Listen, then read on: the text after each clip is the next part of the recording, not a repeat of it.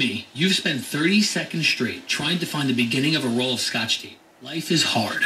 We do two things to make your unwi- Give us our sins as we forgive the above depression. Do the girls back home touch you like I do? Got original 1963 Chevrolet C10, C20, uh, the 63 Chevrolet trucks. This is the kind of AM radio that came in them. Uh, love these uh, Coke bottle knobs. And uh, we've took this one, completely redone it. New chrome on it, redone the face. Got the original background light. We've done a basic Aurora design conversion on it. It now has a AM and FM stereo. Four channels out, 45 watts a channel. It's got pre-outs on it if you want to add a, an amp to a set of rear speakers or even a sub auxiliary in, which is automatic. The radio will scan your stations for you and has voice ID, which is real neat in AM radio. Uh, your uh, auxiliary in, you get a two-piece cable. It comes with it, male to male, and this one you can hide in your truck, like underneath the lip of the dash or wherever you want to, and plug right into it. And put anything into it, like satellite radio, iPods, CD changers, your phone. Now, a lot of the new phones don't have headphone outs. But if you can pick these up on eBay or at your uh, phone store, and this plugs into your charging port and gives you an auxiliary out. Uh, that's pretty cool. Right now you're on FM. Right here you got a little operating LED, and over here you got a stereo LED. Now this one changes color depending on what the radio's doing. This uh, uh, vigorous. Won't go to AM radio, just simply turn the radio off and right back on. Takes you to AM radio. Sign up for email updates and our newsletter now at W. Off and right back on, takes you right back to FM stereo. Got your usual uh, bass and treble. And if you hook up enough speakers, two speakers, you'll have balance built in your uh, toner control. If you hook up three or more, you have balance and fader, and we'll demonstrate how that works.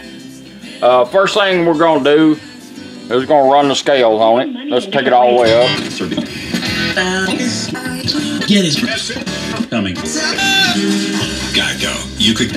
Or you can let this radio find your radio station for you automatic. All you gotta do is Really pressed for this documentary. going down the road, you can let it find you one. You don't have to sit there and keep turning it while you're trying to drive. All you gotta do is put it Nobody in scanning him. Nobody mode. wants to work Take your tuner got knob, turn it up done. twice. One, two. Scanning for stations. Now it's gonna start scanning for stations without the needle moving.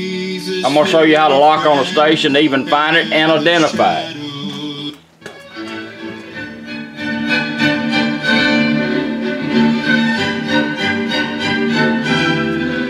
We don't realize that often those knee-jerk reactions are based on kind of faulty assumptions about money or our partner.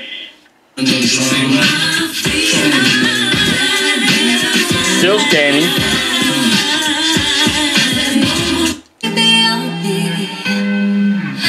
Finally living with the heart that is free.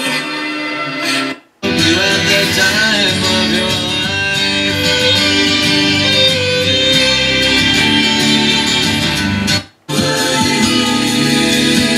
Say you like that station, all you do is got to turn your tuning knob one time. Station hold. She'll lock on it, or as soon as she says that, if you'll start moving it, you'll find where it is on the dial.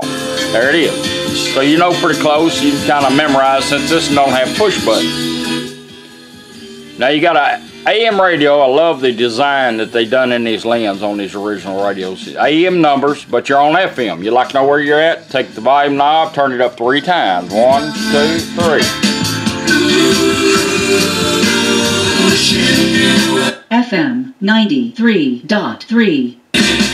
It will do all this on AM and FM. That's called Voice ID. Lets you know where you're at.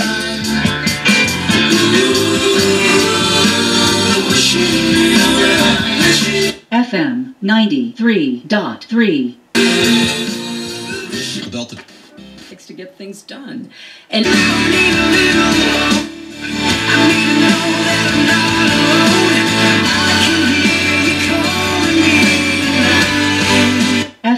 89.9. I was moving it too fast. One, two, three. FM There you go. 89.9. I knew it should have been smoother. Uh, now, you can take your iPod or your phone or your CD changers or anything that's got a head that puts out music. We got a little MP3 player, plug it in. And the radio will automatically transfer over to it. Bring it up, hit play.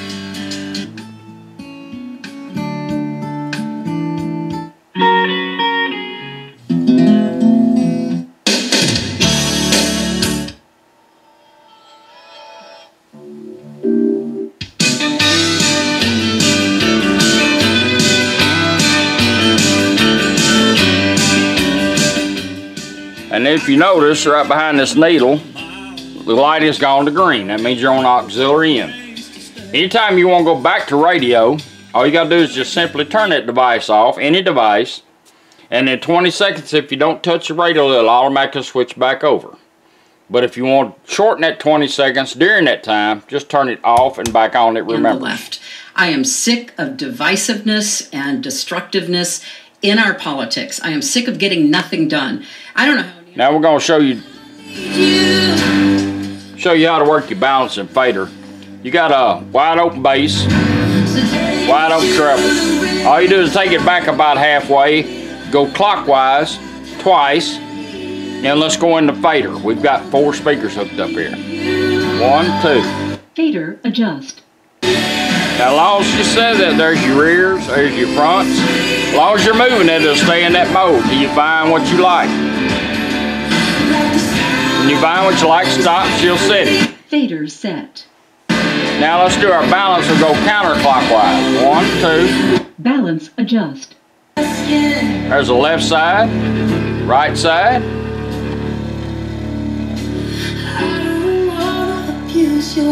Balance it out where we like it. Stop, let her set it. Balance set. Now you're back on treble and bass. Seen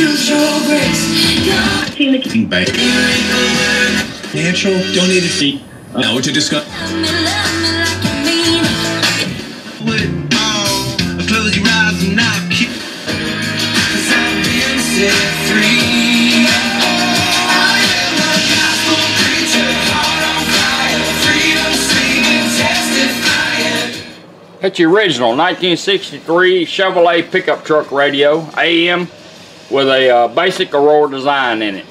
Uh, everything will be labeled for you, full instructions, pretty easy to put in. You can run one speaker up to four with it. Thank you for letting me do it for you.